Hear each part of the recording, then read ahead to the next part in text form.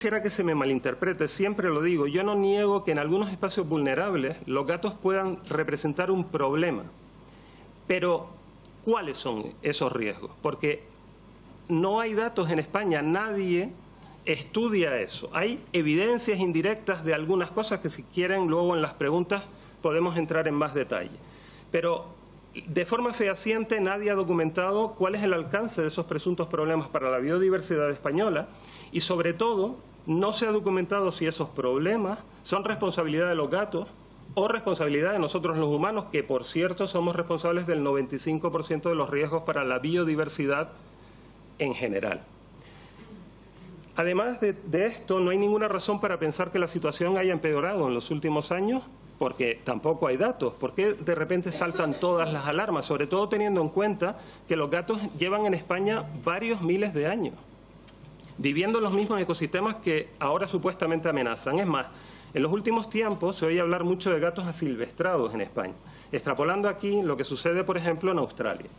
Claro, extrapolar lo que sucede en Australia, con un 97% del territorio deshabitado, y donde los gatos se introdujeron a mediados del siglo XIX en cantidad de decenas de miles para combatir plagas de roedores y de conejos que los mismos colonos habían introducido solo unos, unas décadas antes, es, eh, a ver, después abandonaron el medio rural, los gatos se quedaron allí, se reprodujeron, se adaptaron al medio y se asilvestraron. Eso es la situación en Australia. Esos sí son gatos asilvestrados, pero ¿qué posibilidades hay en España de que los gatos se asilvestren? Por ejemplo, yo vengo de Canarias, ¿qué posibilidades hay de que se asilvestren los gatos en un territorio que tiene 100 veces, una densidad de población 100 veces superior a la, de Australia y donde ningún espacio natural está a, más de 5 o 7 kilómetros de un núcleo habitado por personas y sus gatos. Señorías, eh, se está diagnosticando erróneamente la situación. En consecuencia, las soluciones parten de una premisa errónea y, por tanto, son soluciones mal fundamentadas. Los gatos de nuestro país proceden siempre de entornos humanos, tengan o no tengan propietario. Tanto en un caso como en el otro, el único modelo de gestión viable para reducir la población de gatos sin hogar es el control reproductivo de todos ellos. Los que tienen propietario, por sus propietarios, tienen que ser esterilizados por estos. Y los que no, deben ser dados en adopción, pero esto no es siempre posible. En todos los casos no se pueden dar en adopción. Los que no se pueden dar en adopción deben ser esterilizados y retornados al lugar en donde viven. Es lo que se conoce como el método SER. Y ustedes escucharán, como he escuchado yo, que este método no funciona. Y eso les digo que es total y absolutamente falso. Este método ha sido probado y funciona en muchísimas partes del mundo.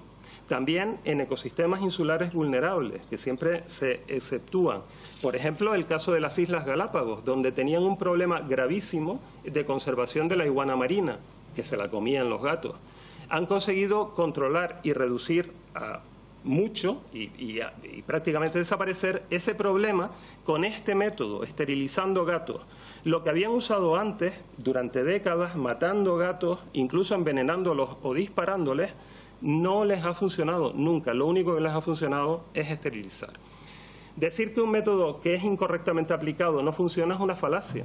Y es que hasta la fecha el método no ha sido aplicado correctamente en nuestro país. Es decir, no se ha aplicado de forma sistemática, sostenida en el tiempo, realizada por técnicos y con un diseño científico, con el apoyo de voluntarios y sobre todo con el respaldo de la Administración. No, se ha ido aplicando de forma descoordinada y solo en iniciativa de la sociedad civil, con la colaboración de algunos municipios, pero aún así a pesar de la precariedad con la que se ha ido aplicando, yo les invito a conocer algunos ejemplos de éxito rotundo. En Córdoba, por ejemplo, en menos de un año se han esterilizado más de 3.000 gatos.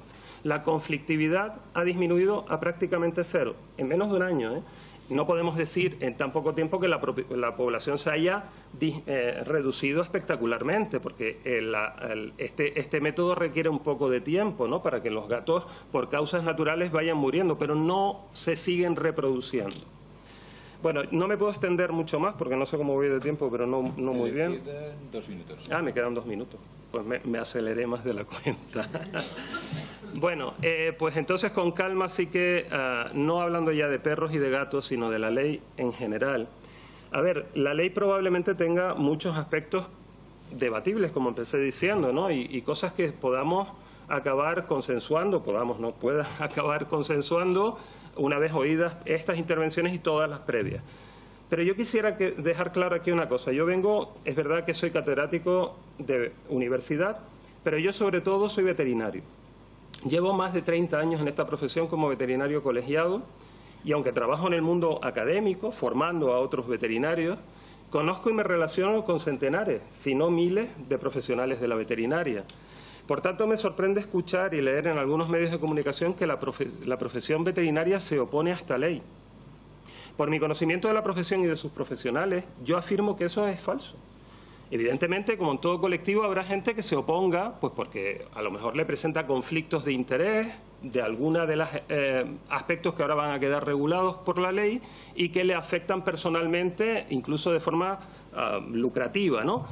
Pero es legítimo que estas personas manifiesten su descontento con la ley, su opinión, pero por mucho que estén en puestos de representación no se pueden arrogar la representación del colectivo veterinario. A mí por lo menos no me representa.